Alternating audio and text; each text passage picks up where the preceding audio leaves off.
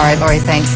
Education news. The Bakersfield City School District has been planning to install solar panels at Voorhies Elementary School in East Bakersfield.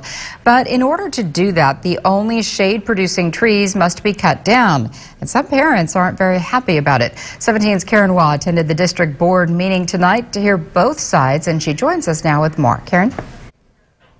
It's quite an ironic environmental story cutting down trees to make room for solar panels. It was a sea of green, a show of solidarity at the district board meeting tonight. Parents say the mulberry trees in question are the only shady spots on the playground at Voorhies Elementary, which are especially necess necessary for the student body of 1,000.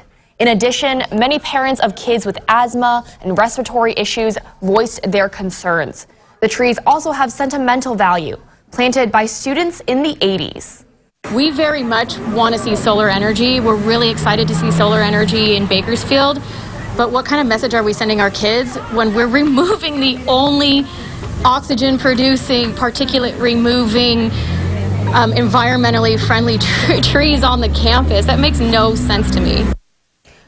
The parents say the solution is simple put the solar panels elsewhere on campus, namely the parking lot or atop the school itself. But the district says it needs the state's clearance to put panels on the roof, and the parking lots aren't large enough. The district also says they've hired an arborist who reports that the trees are actually a hazard. Regardless of whether the solar panels are going in or not, according to the experts that have come out to look at the trees, they are saying that they pose a hazard to our students because they are causing a tripping hazard and also decaying.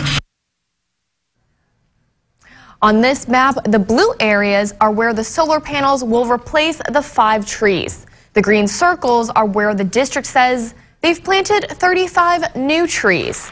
Despite the district's actions, the parents have created an online petition with nearly 400 signatures so far. They're also advocating for more transparency with how green spaces are managed.